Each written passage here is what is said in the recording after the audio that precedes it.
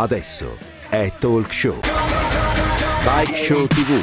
Adesso è Talk Show. Bene, amici di Bike Show, benvenuti in questa nuova puntata. Oggi abbiamo qui un ospite speciale, un amico veramente, Luca Chirico. Ciao Luca. Ciao a tutti, ciao Danilo. Noi una volta all'anno ci ritroviamo. eh. Esatto, sempre vicino al lago però, eh. Vogliamo respirare l'aria buona, quindi vogliamo star bene. Cambiamo un attimo di lago, però almeno col caldo ci troviamo, iniziamo a uscire anche noi. Ma noi lo facciamo perché Luca vogliamo, vogliamo ricaricarti per le gare, prepararti, quindi poi oggi comunque siamo a maggio ma fa un caldo È, è un maggio abbastanza caldo quest'anno. estivo. Estivo.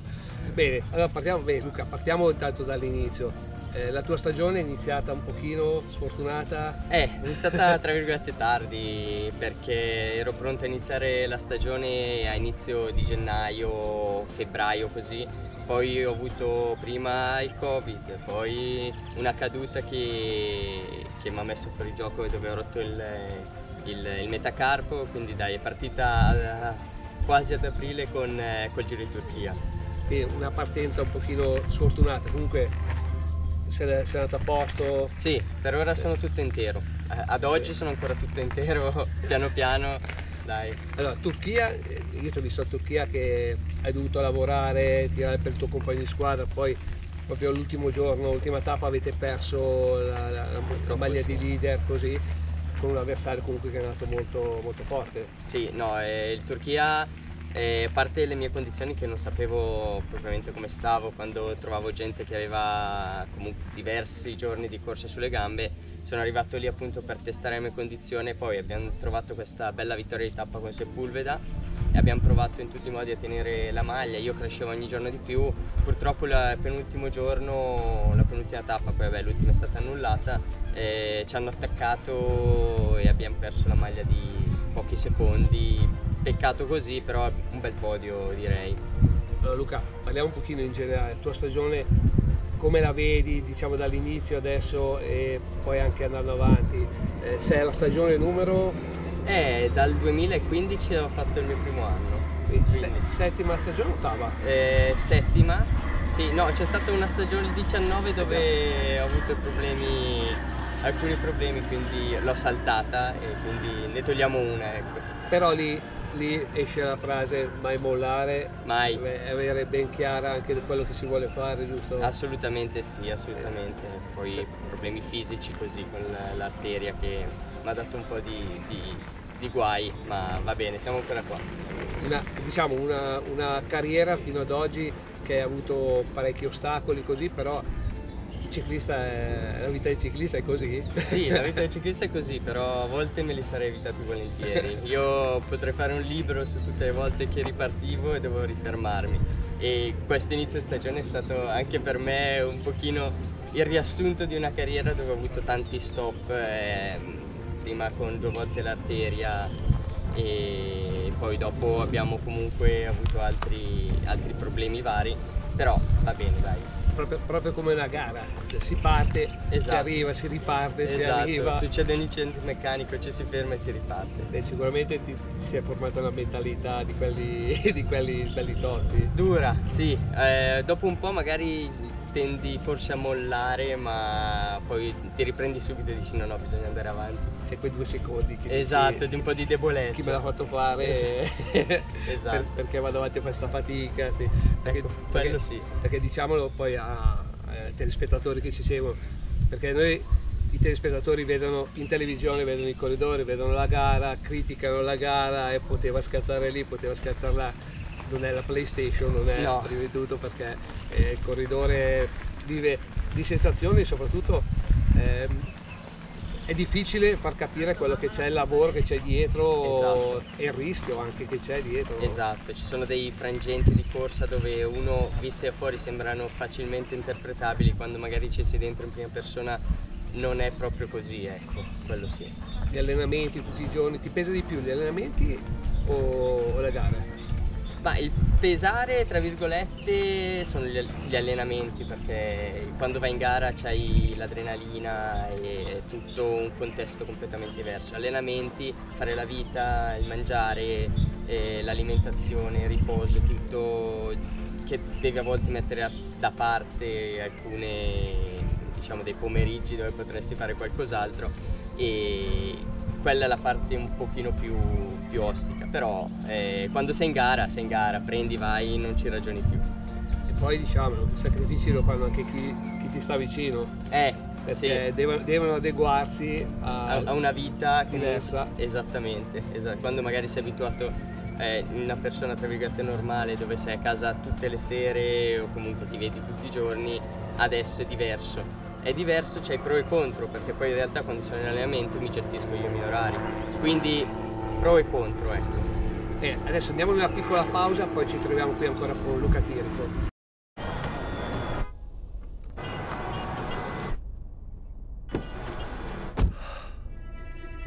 Nuova Mazda CX-30.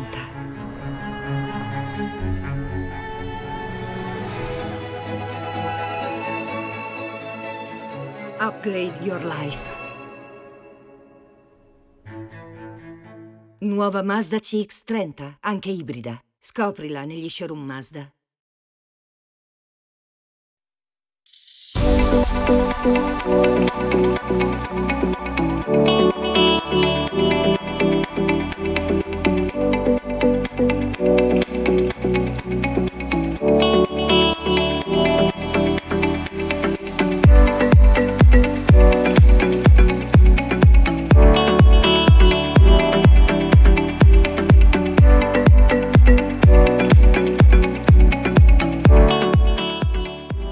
Non puoi perderti il meglio di Bike Show TV.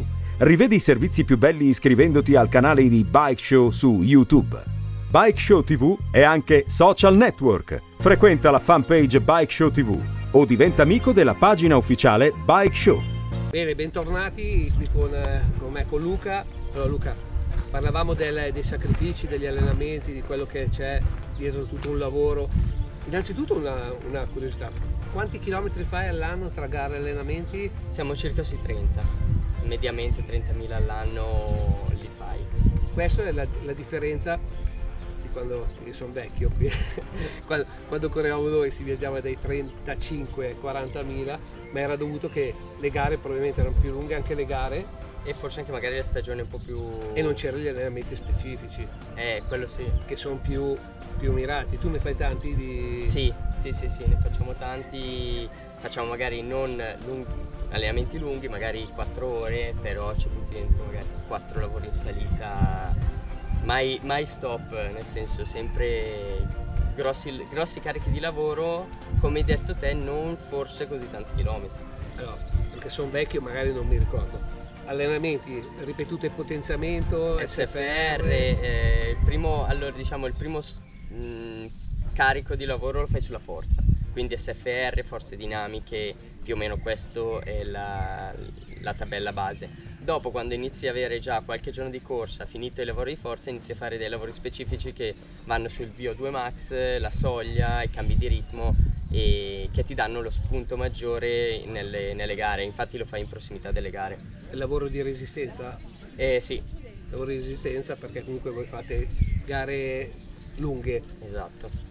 Ad oggi le gare del ciclismo sono a ritmi altissimi, cioè eh, nei tempi facevamo tante tappe, vedo che adesso quando in televisione si vedono le tappe chiamate di trasferimento di 37 di media, si lamentano tutti quelli fuori. Eh. Eh, esatto. Diciamo, vi lamentate voi a casa o giornalisti o tele- telecronisti, Esatto, dentro ma chi è in bici mi sa che non si lamenta così, anzi sono quelle giornate dove tiri un po' il fiato in un giro d'Italia che ce n'è io penso ai miei giri d'Italia non ho mai fi- fatto una tappa come è stata quella dell'altro giorno. dell'altro giorno, ma questo è secondo me molto sintomatico di intelligenza dei corridori, perché sanno che c'è un giro davanti, quindi tirarsi il collo in una tappa di 200 km piatta eh, forse tanto il risultato cambiava poco, penso. Allora, anni 90, anni 90 telespettatori, di quelle tappe ne facevamo tante, ma di 250-270 km. Eh, adesso non ce E, e quindi stavamo in bicicletta un'ora, un'ora e passa in più, perché andando più piano stai un'ora più e arrivi cotto. Esatto. Non è che, non è che eri riposato, bello fresco, arrivi quindi anche stanco. E pe- era peggio. Era peggio quasi, era peggio. Poi io non amavo, poi a me piace come corro adesso, devo dire la verità. Divertente. Sì, perché a me piace- piaceva l'attacco, scappi, rendere la gara più dura, Sì. più, più viva. Eh, vedo adesso Van der Poel, E eh, appunto entrando in quell'argomento lì, io penso che adesso, soprattutto nelle gare di un giorno o comunque nelle tappe mosse che si addicono a questi personaggi qua, la corsa scoppia a 70 all'arrivo, 80 all'arrivo, cosa che una volta io quando ho iniziato a correre, non ho iniziato 100 anni fa, nel 2015 c'era classica prima ora dove andava via la fuga, si faceva tanto tempo a 30 all'ora e li facevano prendere 6-7 minuti e poi si ricominciava e nel finale, gli ultimi 20 km generalmente, esplodeva la corsa. Adesso invece non c'è più questa regola. Adesso la fuga la tengono massimo a due minuti. Quindi la, la corsa è, talmente vicina alla fuga che può esplodere in qualsiasi momento. Se attacca Van der Poel in 10 km neanche ti va a prendere la fuga, ti recupera due minuti e- ed è molto più divertente a vedere, quello sicuro. Eh, guarda, oggi diciamo, stiamo registrando, è sabato, siamo qua sul bellissimo lago di Varese, quindi siamo scelti una location anche giusta col venticello, almeno almeno Siamo si un po' rinfrescati. Si soffre meno, però ieri c'è stata una tappa, quella che è arrivata a Cuneo, Sì. che veramente con maestri e altri tre compagni di squadra in fuga sono stati ripresi ai 900 metri. Sì. Proprio, io credo anche con un grave errore da parte di tutti e quattro perché, Eh, perché bisogna si, sono, si sono rialzati un pochino a controllarsi a un chilometro presto. e mezzo. Con 15 secondi su un gruppo così lanciato che vuole arrivare in volata è, è molto presto. Quindi Doveva arrivare a 500 metri e poi giocarsela. E poi te la giochi, esatto. Che poi alla fine Con per fatica. tanti magari cambiava cioè, un piazzamento comunque nei, nei primi quattro in un giro e in una tappa di giro poteva anche essere una cosa molto positiva. Faccio un esempio, uno di quei quattro arrivava piuttosto che vincere, faceva secondo, terzo O quarto anche. o anche quarto, comunque io ci firmerei adesso, eh. a proprio- Giro d'Italia. No, perché proprio molte volte stanno lì a ragionare e poi eh, quando si vede un corridore che magari dicono eh ha tirato poi ha perso la gara. Sì, Eh. ma perché sapeva magari già al 90% di essere già battuto dal, Esatto. veloci- dal corridore più veloce. Esatto. E poi dire se mi riprendono faccio esimo, meglio secondo che esimo. Esatto. Quindi a volte c'è quel calcolo, anche Quel ieri non l'hanno fatto, hanno sbagliato ieri. eh. Ieri secondo me sì, è stato un, un errore abbastanza eh, errore tattico perché facciamo tirare tutti Ecorn che sapevano è veloce, certo, però devi guadagnartela poi la vittoria, non è così scontato che sei più veloce, dipende Certo. come arrivi e tutto, quindi L'abbiamo visto, negli ultimi anni abbiamo visto spesso Sì. il favorito perdere. Esatto, esatto, ricordo il Fiandre eh, quando Asgren ha battuto Van der Poel, eh, quindi Capitano spesso adesso. esatto. eh, Poi tra l'altro io quell'arrivo lì me lo ricordo perché era il finale anche della cronometro di Cuneo eh, che avevamo fatto Pinerolo Cuneo Giro Sì. d'Italia, forse una delle più lunghe, 68 km a cronometro, quindi non ti dico la, la via Crucis perché è tutto un rettilineo unico. Io ho fatto 60 km nel 2015 le quelle del Valdobbiadene. Che partendo da Treviso arrivavamo a. Quindi sai cosa vuol dire la cronometro così? Poi per me che Eh, mi piace fisicamente sono proprio portato. Guarda, io se la racconto da ridere perché c'era- mi sono messo col cappellino, non c'era il casco obbligatorio ai tempi. Cappellino da ciclista al contrario, con pisci da corsa, non da cronometro, e mi sono fatto tutta la cronometro così, 53 in canna, per- perché se no rischi anche lì che c'è il tempo massimo. eh. Eh sì, esatto. E quindi non è che poi. Però mi ricordo quel finale lì, quel giorno vinse Luca Gelfi, eh, che voglio ricordare che è un amico, il caro Luca, e arrivò secondo Bugno. Luca batté Bugno che poi ha vinto il Giro d'Italia, quell'anno lì ha vinto il Giro d'Italia dal primo all'ultimo giorno in rosa, mani basse. mani basse, è dato veramente, ha giocato. E comunque sono arrivi difficili. vedendo il Giro d'Italia lo stai seguendo? Sì, abbastanza, quando non sono preso con gli elementi così, nelle tappe più belle mi piace seguirlo, sì. Quindi io sono andato a Napoli a vedere un paio Sì. di tappe, a Napoli appena sono andato a Bacoli dove facevano il circuito che era anche la zona storica di partenza a Tirreno Adriatico perché eh, non sono mai riuscito a vincere, ho fatto un secondo, un terzo, un quarto, quindi nella Tirreno Adriatico, quindi è un percorso, quando ho visto il percorso la prima parola che ho detto la mattina ho detto Van der Poel attacca subito, pronti via e tira fuori la gara subito, pronti via. Come E da dopo, la, dopo l'ha persa perché comunque Sì. gli corrono anche Assolutamente, sanno che è il più forte, correremo contro tutti. eh, a lui è un campione, quindi fatica cerchi- doppia però eh. Eh, Adesso fatica doppia perché li corrono a ruota e i corridori poi come De Ghent, Girmay, eh, sì, corridori esatto. forti, non corridori... No, sono corridori, comunque si è visto anche secondo me Girmay aveva, non ha tirato secondo me per andare a riprendere i, i quattro davanti, secondo me Girmay ha, ha un pochino tirato a mezza gamba, perché gas. puntava la ciclamino eh, per la classifica punti. Eh. Esatto, quindi doveva, doveva battere comunque Van Der Poel. Eh, mi risparmio un po' perché so pu- poi magari mi batte. Esatto. E poi invece eh, Girmay ha fatto una bellissima... Una. Allora, non eliminato dai concorrenti ma eliminato da un tappo. Eh, quello lì è Un problema. colpo di scena. Eh, è un problema perché adesso eh, quando succedono queste cose qua fa più clamore queste cose qua che la vittoria. Davvero, è vero. Perché tutti i tifosi si ricordano di più, eh, la- i tifosi, diciamo la gente che segue il ciclismo saltuariamente. no? Esa- sì, sì, no. eh, infatti quando vai in giro, magari invece di dire oh ha vinto Girmay, ti dicono ma quel ragazzo sul podio che gli è partito il tappo non è partito oggi, non ho- non fa- E si ricordano di, quel- di quegli episodi lì eh, che sono simpatici eh, per chi è da fuori, un po' meno per lui, ecco. Eh, lui non, non la vede, non la vede tanto bene, No, no. vogliamo fare una battuta, però sappiamo che sta, sta riprendendo, quindi Sì, però è sì. pericoloso eh, perché una, una delle statistiche che c'è di incidenti maggiori è proprio per i tappi, per i tappi negli occhi, quindi non è uno... Eh, perché probabilmente agitata sotto il caldo così eh, Quello ti metti davanti, togli la gabbietta. un po' stanchezza. Ecco. Va bene, andiamo in un'altra pausa, poi torniamo poi con Luca.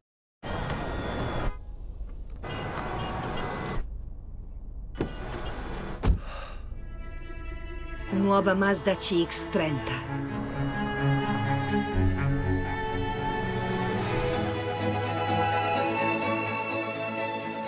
Upgrade your life. Nuova Mazda CX30, anche ibrida. Scoprila negli showroom Mazda.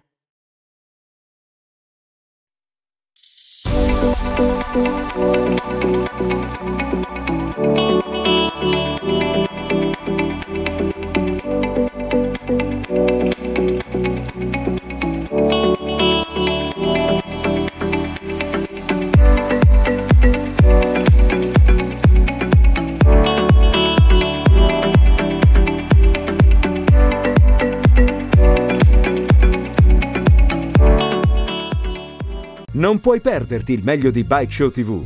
Rivedi i servizi più belli iscrivendoti al canale di Bike Show su YouTube. Bike Show TV è anche social network. Frequenta la fanpage Bike Show TV o diventa amico della pagina ufficiale Bike Show.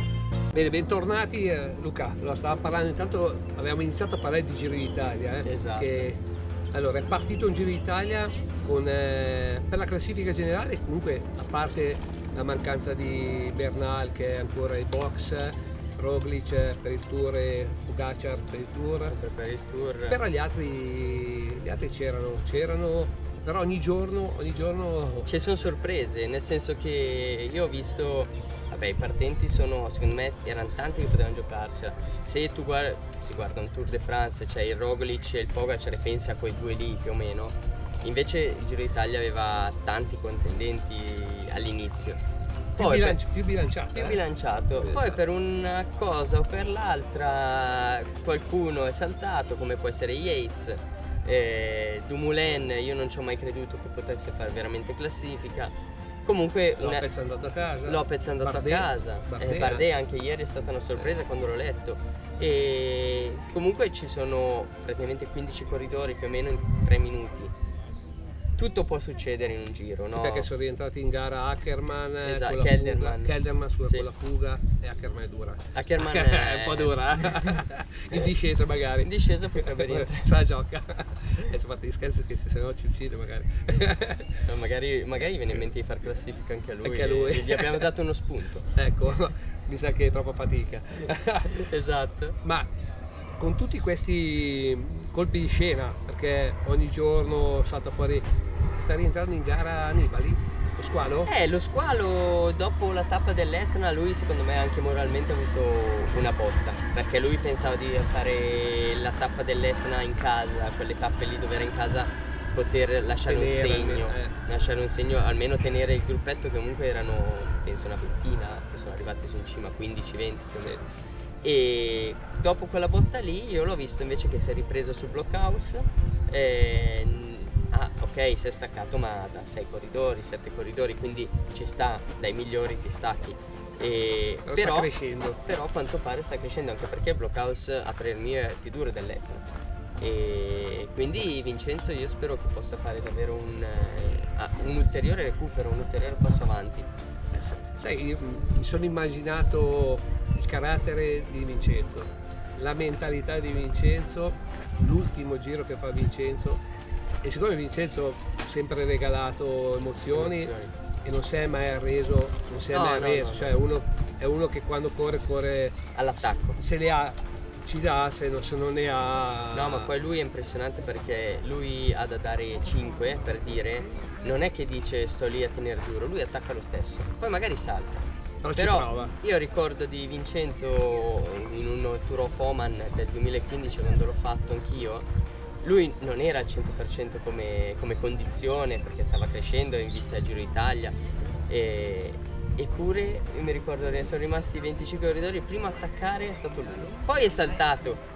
È un- Però è non è uno che se, è magari un se- generoso. No, sempre, lui vuol dare spettacolo, per quello sì. E poi c'è una, una gran classe. Poi ce- cerca anche molto di, di lavorare anche di testa, perché sappiamo, prima parlavamo dei com, dei watt, queste cose qua.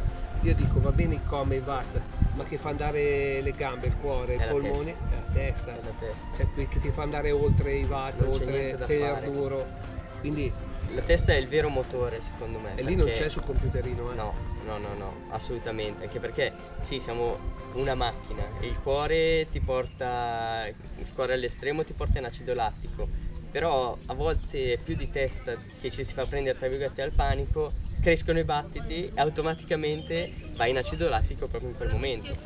Quindi direi che, che lui a livello di testa è quasi non imbattibile, però molto molto forte. È quello, che, è quello che probabilmente l'ha portato poi a vincere i grandi giri, Lombardia, Sanremo. i Sanremo, per- perché per un corridore delle sue, diciamo, delle sue caratteristiche è lì che ha fatto veramente un capolavoro. Lì, quella lì fatto- secondo me la Sanremo di Vincenzo è stata una un- come hai detto te un capolavoro ma secondo me ancora di più perché uno come lui ma si torna al fatto che secondo me lui lì non era neanche al 100% ma ci ha provato lo stesso cioè non aspettava altro qualcuno attaccasse gli è andato dietro ha preso 3 metri 4 metri 5 metri in discesa lo conosciamo e è lì che ha fatto un vero capolavoro anche perché gli ultimi anni una volta fino a qualche anno fa si poteva pensare a un'impresa del genere.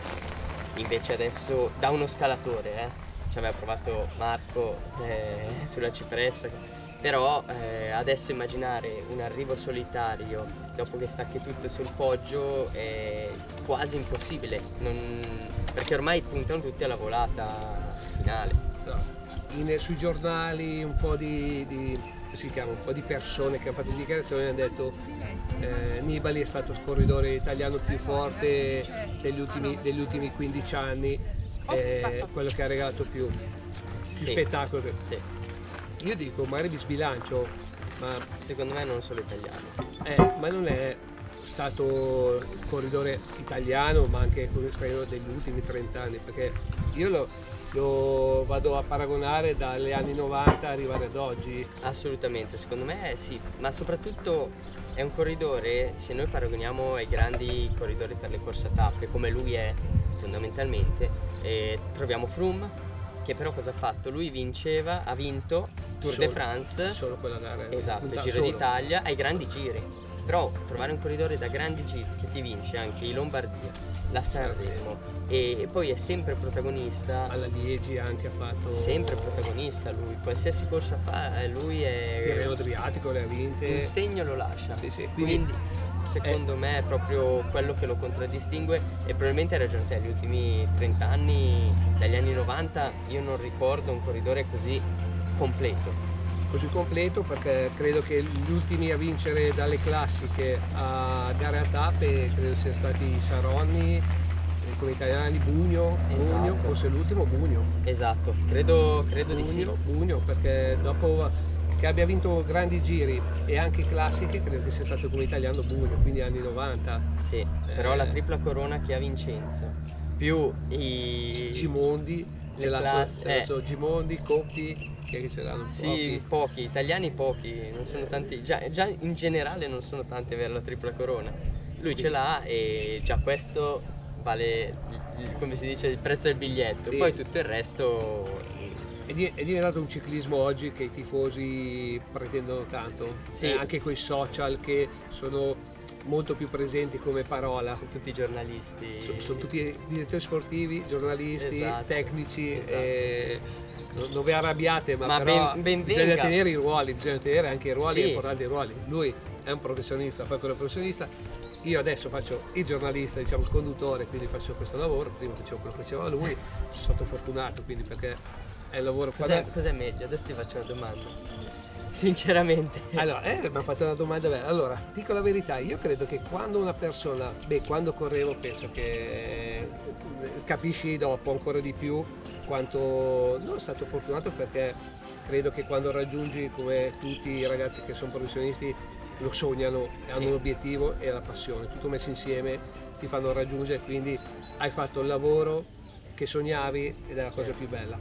Quando ho smesso, io c'era un giornalista, e lo saluto, Pino Beccaria, che un giorno mi disse, te farai il DJ, non c'è andato lontano, eh. C'è andato- Pino ci sei andato vicino perché... Anche quello non era male però, eh. Però io eh, mi chiedevo sempre, dicevo, mancano tante cose nel ciclismo, manca chi eh, fa televisione, promuovere. Credo di essere stato, eh, siamo, by show siamo al ventesima stagione, quindi dal 2003 Non è così male, eh. credo che abbiamo dato anche noi il nostro apporto. E a me piace, mi diverto, sono sempre, nel, sono sempre In- qua, in vedi? sono sempre nel mondo della bicicletta, quindi Chi ti segue sui social vede che sei sempre... manca, manca una cosa, qua c'è le soddisfazioni diciamo con le interviste, con i campioni, con voi, quindi eh, la vittoria. manca alzare le mani, que- quella, quella No, un'adrenalina che veramente... solo chi fa sport e fa certe cose può capire cosa vuol dire eh, perché quando, quando vedete loro ad oggi che si emozionano, piangono, gridano eh, dopo l'arrivo così è per tutto quello che c'è dietro Sì. cioè non è solo la gara magari anche la gara che l'hai corsa splendidamente Per l'amor di Dio, però è proprio tutto un lavoro che tu fai dietro di sacrifici e è, è un'esplosione. Ecco, è proprio e poi quando arrivi da infortuni a tutte le cose così che riesci a superarli. c'hai, c'hai un, un blocco C'hai- qua che scarichi tutto giusto? Speriamo di averla presto anch'io questa esplosione. Allora, devo dire una cosa, noi quest'inverno, ieri anche un'altra campionessa ha vinto Matilde a, a Vuelta Burgos, mi sembra in Spagna, era venuta ospite da noi al By Show. La Martina Fidalza ha avuto un po' di sfighe perché Sì, ha, anche lei. le ha avute, però ha vinto il Coppa del Mondo in Canada, è rientrata, ha vinto, va forte. Quindi non diciamo, non diciamo Bagioli è venuto ospite da noi, Bagioli anche lui, Masnada inizio stagione, quest'inverno è venuto anche lui e anche lui ha vinto. Eh Cioè sì, se faccio certo. l'elenco, tutti i nostri ospiti che sono venuti poi hanno vinto, non vorrei dire, eh, niente. però, Cioè, non diciamo, non diciamo però- niente. però by show, come dicevo adesso facciamo la maglia Devi perché scrivere sotto. porta bene. Esatto. Ma è rosso è rosso, sembra un cornetto. Noi siamo in linea, eh, comunque Eh. rossoneri. Tanto Gianni, Gianni Savio gli ho fatto i complimenti, credo che non sia milanista perché gli ho detto complimenti per la maglia di quest'anno perché mi piace da morire. Anch'io sono contentissimo per il rosso, nero. Gianni comunque hai gusto e anche le, un'altra cosa sulla squadra, che parliamo anche della squadra, uh, ne parliamo dopo, no? facciamo un'altra pausa, poi parliamo della squadra e dei colori.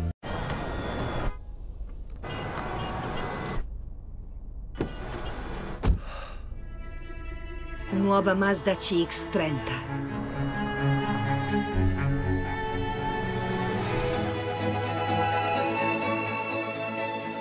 Upgrade your life. Nuova Mazda CX-30, anche ibrida. Scoprila negli showroom Mazda.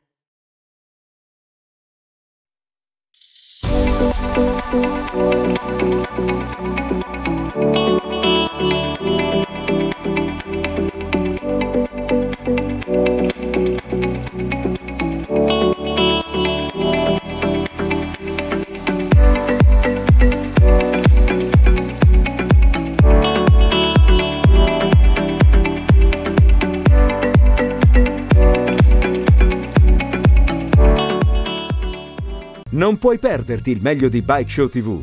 Rivedi i servizi più belli iscrivendoti al canale di Bike Show su YouTube. Bike Show TV è anche social network. Frequenta la fanpage Bike Show TV o diventa amico della pagina ufficiale Bike Show.